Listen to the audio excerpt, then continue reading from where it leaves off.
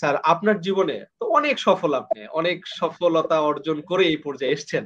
তো আপনার কাছে স্যার, এবারে আমার জানতে চাওয়া যে আপনার জীবনের সাফল্য স্বীকৃতি সম্পর্কে আমাদের যদি কিছু বলতেন, যে আপনার এই যে সফলতা, কি ধরনের স্বীকৃতি আপনি অর্জন করেছেন এখন পর্যন্ত, যদি আমাদের কিছু বলতেন স্যার।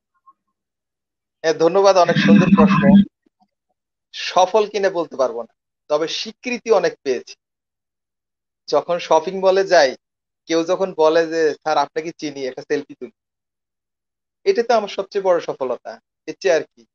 আমার বাচ্চারা মাঝে মাঝে বলে যে, বাবা, তুমি তো সেলিব্রিটি হয়ে গেছো।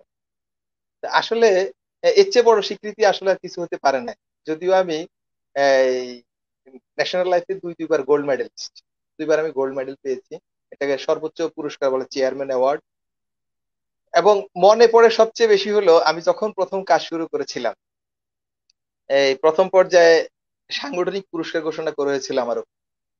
তা আমি প্রথম প্রিমিয়াম দিয়ে আমি পেয়েছিলাম এটা ব্রিফ কেস। তো ব্রিফ কেস পেয়ে তো মহা খুশি, কারণ এটা মূল্যবান যতই হোক না কেন মূল্যের দিক থেকে টাকার দিকে যাই হোক না কেন, কিন্তু পুরস্কার বা স্বীকৃতি হিসেবে মহামূল্যবান। আরও বেশি আশ্চর্যান্বিত হয়েছি, যখন পরদিন অফিসে গেলাম নোটিশ বোর্ডে তাকিয়ে দেখি যে আমার ছবি ব্ল্যাক এন্ড হোয়াইট তখনও কালার ছবি তেমন একটা প্রচলন হয় নাই। ব্ল্যাক এন্ড হোয়াইট ছবি নোটিশ বোর্ডে টানানো আছে, অর্থাৎ আমি পুরস্কার পেয়েছি। তো ওই বয়সে এটা কিন্তু সাফল্যের স্বীকৃতি আমি বলব। হ্যাঁ সফল কতটুকু হয়ে যায় কিন্তু স্বীকৃতি। এ ধরনের অনেক জাতীয় পুরস্কার বিভিন্ন ভাবে বিভিন্ন সময় বিভিন্ন ইয়ে ছিল গ্যাদারিং ছিল সেই সকল গ্যাদারিং এ অনেক সময় অনেক পুরস্কারে আল্লাহর মধ্যে পেয়েছি। তো স্বীকৃতি বলতে আমি আসলে একেবারে ছোট মানুষ, নগণ্য মানুষ তো বড় মানুষ না।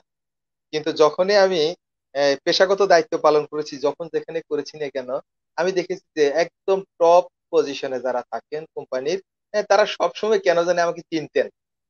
হ্যাঁ খুব স্নেহ করতেন হ্যাঁ যে কোনো বিষয়ে ডাকতেন, কথা বলতেন, জিজ্ঞেস করতেন। আমি মনে করি যে সেগুলো ছিল আমার স্বীকৃতি। আমার আসলে পার্থিব কিছু পাওয়াকে আমি স্বীকৃতি মনে করি না। আমি ভালোবাসাটাকে স্বীকৃতি মনে করি গুরুত্ব দেওয়াটাকে স্বীকৃতি মনে করি। হয়তো একটা নোট লিখলাম। যদি আমার সিও বলে যে, এই নোটটা এত সুন্দর হয়েছে হ্যাঁ এই, এখানে এখানে এই জিনিসগুলা কি আপনি কারও হেল্প নিয়েছেন না আপনি করেছেন? তো যখন আমি নিজে নোটটা করেছি হ্যাঁ তখন আমার কাছে গর্বে বুকটা ভরে যায় যে, একজন সিও যদি আমাকে একটা নোটের ব্যাপারে প্রশংসা করতে পারে, তাইলে বুঝতে হবে যে, আমার একটা স্বীকৃতি আমি সেখানে পেয়েছি। তো আসলে সফলতা নির্ভর করে অনেকের কাছে অনেক রকম। আমার কাছে সফলতা হলো ছোট্ট ছোট্ট অংশ। আমার তো বড় বেশি বেশি কিছু না। আমি কোটি কোটি টাকার মালিক হব। হ্যাঁ দেশে একটা বাড়ি থাকবে, বিদেশে একটা থাকবে সেকেন্ড হোম থাকবে, আমার কয়টা লাক্সারিয়াস গাড়ি থাকবে। হ্যাঁ এগুলাকে আমি আসলে সফলতার মাপকাঠি মাপি আমিও আপনি কেউ একটু মুস্তি হেসে আমাকে, এই, সম্ভাষণ জানালো। হ্যাঁ কেউ আমার দিকে একটু তাকিয়ে, তাকালো একটু ভালো দৃষ্টিতে। আমি মনে করি এটাও একটা আজকে মাহুদ ইসলাম আমাকে ডেকেছে আমি একটু আগে আমার কয়েকটা বন্ধু বান্ধব ছিল আমার সামনে। হ্যাঁ আপনার কথা মানে আপনার প্রোগ্রামের কথা শুনে তারা চলে গেছে। তো তাদেরকে আমি বললাম যে, দেখেন, দেখো আমি থাকি সিলেট। হ্যাঁ আমি তো ঢাকায়ও থাকি না এখন। অথচ সে আমাকে এত পছন্দ করে, এত ভালোবাসে, সে আমাকে খুঁজে বের করে নিয়ে আসছে। আজকে জাতীয় পর্যায়ের অনেক লোক আছেন, তারাও তো এখানে আলোচনা করেন সব সময় কিন্তু আজকে কেন? আমাকে আরও দুই বছর, পাঁচ বছর পরে ডাকলেও তো পারতো। কিন্তু আজকে ডেকেছে। এটাও তো আমার একটা জন্য স্বীকৃতি।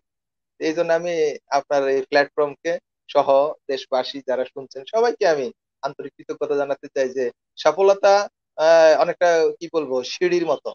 পরিশ্রম করে করে আস্তে আস্তে করে টপকাতে হয়। অনেক সময় সৌভাগ্যের কারণে সফলতা আসে, যেটা আমরা লিফটের মতো বলি।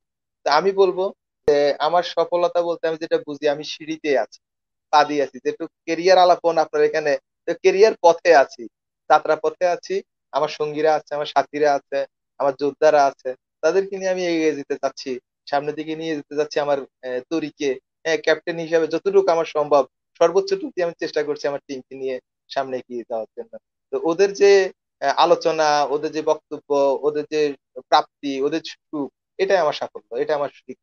এটুকু আমি মনে করি।